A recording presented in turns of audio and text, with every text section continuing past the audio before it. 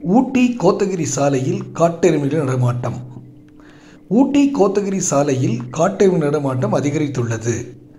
காட்டெருமைகள் கூட்டத்துடன் கன்றுகளுடன் நடமாடுவதால் மிகவும் ஆபத்தான நிலைமை ஏற்படுகிறது என்று கூறப்படுகிறது. இதனால் வாகன ஓட்டிகளும் நடந்து செல்வர்களும் கவனமாக செல்ல வேண்டும் என்று அறிவுறுத்தப்படுகிறது.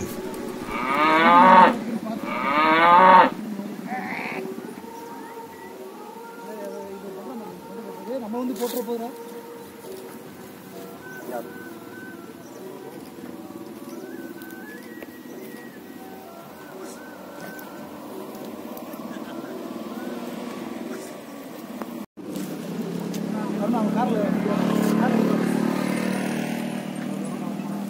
அண்ணா சார் ராசன் என்ன படம்?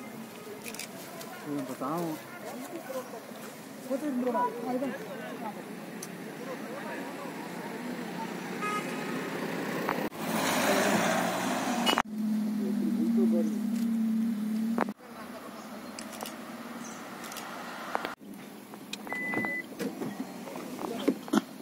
கரெக்டாக நீ சொன்ன வழி தான் எப்போதுன்ட்டு